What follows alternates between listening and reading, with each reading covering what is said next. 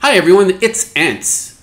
Today I'm going to show you a 3D first person shooter game running under Godot, but using Kotlin as the development language. Yes, I said Kotlin, and you could also use Java if you wanted to. But this example is using Kotlin. So how is this possible? Well, if you actually saw my previous video, uh, there is an amazing project called Kotlin, uh, Godot Kotlin JVM, and it allows you to basically code your game in Kotlin and or Java, Java or mixture of both, and um, and run the game in Godot and using the uh, Godot game engine. See my previous video for more information on this.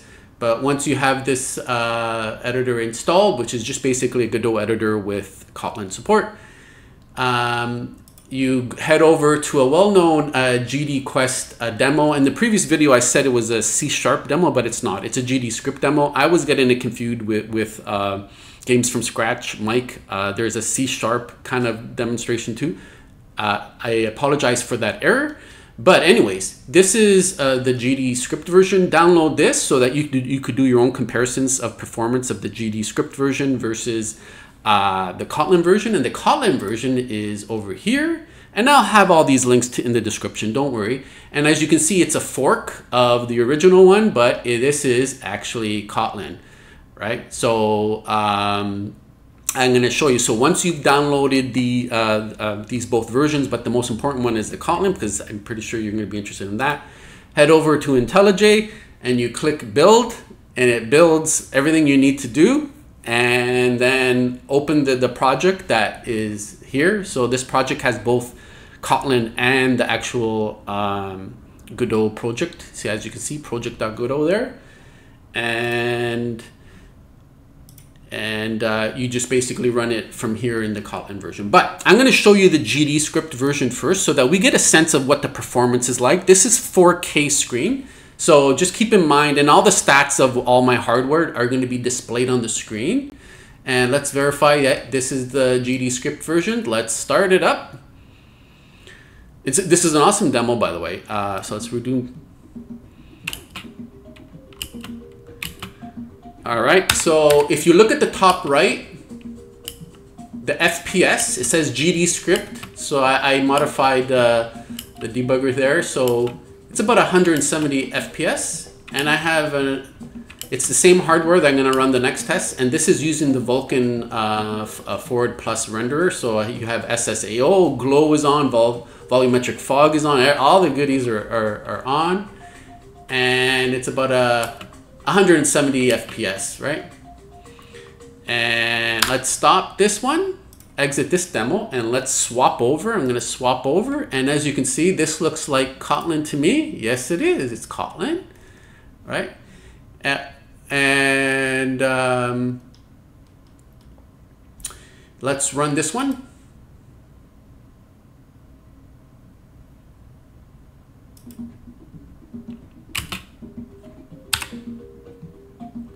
And if you can, oh, let me go more there if you can see, I'm only getting 160 versus 170. So it's about, it's, it's in, in the range of 10% slower, but there is a caveat here is I'm not doing a kind of um, a fair test. And the reason why is the GDScript was using Godot 4.3 and this Kotlin version is 4.2.2. But within the end of the year, there's gonna it's actually gonna be most likely in October, but I'm not putting any any pressure onto that team because they're doing such amazing work. They're gonna release the uh, version 4.3 version of the Godot Kotlin uh, editor, and so you're gonna get access to uh, Godot 4.3 features, but they fixed a lot of kind of small little bugs. I looked at the bug list and they think these are big bugs, and in my opinion, this is just my opinion. They're like, yeah, that's a that's just a quality life. So they're doing a lot of quality of lives. They're fixing a couple of bugs and hopefully they even put some optimizations. So um, I'll redo this test and kind of compare 4.3 GDScript versus 4.3 Kotlin slash Java. Either way, I am sold because even if it's 5 to 10% reduction in performance, just using Java or Kotlin instead of GDScript is worth it. And you get access to Vulkan uh, renderer and the Forward Plus renderer with all the goodies and all that kind of stuff. is just absolutely fantastic. So that's uh, uh, basically it. And I will have a link to everything I showed you uh, today. And um, and that's basically it. I hope you enjoyed that. So again, just to summarize, I just showed you a 3D first-person shooter demonstration game from uh, GDQuest using Kotlin, or I could even use Java and all that on the Godot 4.2, 4.3 engine, right? So keep that in mind. Take care. Bye.